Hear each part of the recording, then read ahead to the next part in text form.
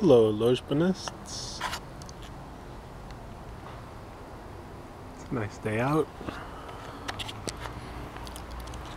I thought I would try to explain to you the concept of a bridi.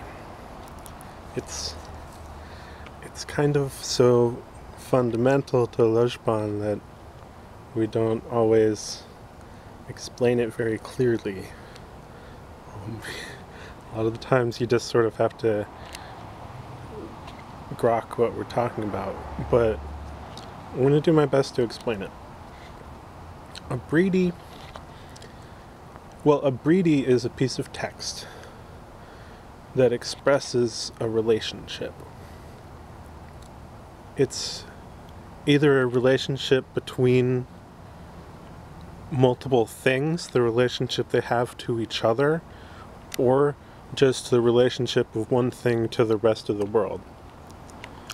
Um, for instance, something that's green, see all these nice green things? It has a particular relationship to the rest of the world that's its greenness. And we call that relationship crino. And that just has that just has one place. Or another relationship is cpana, being on top of. Like this is a table, and this is a leaf, and the leaf is cpana, the table. And that's the relationship that those two things have to each other. They're related in space by one being on top of the other. So, I mean, it's sort of like, it, it's like it's like if you if we go to first principles, like like Lojban is sort of as a language made from scratch. You know, like we didn't we didn't just take the way a language normally works. We th- sort of when Lojban was made, uh, it was like thinking about the world fundamentally and saying, okay, we want to say stuff about the world. How do you say stuff about the world? Well, you basically need two different things to talk about the world. One thing is you need to pick out stuff in the world, right? You need to say what you're talking about. And then you need to show either some qualities of those things or how they relate to each other. You need to say something about them. So in Lojban, that's fundamentally what a bridi is. Is it's it's a text where we show uh, one or more things, and those are called the terbri, the tebridi. That's the third place of, of the Gismu bridi.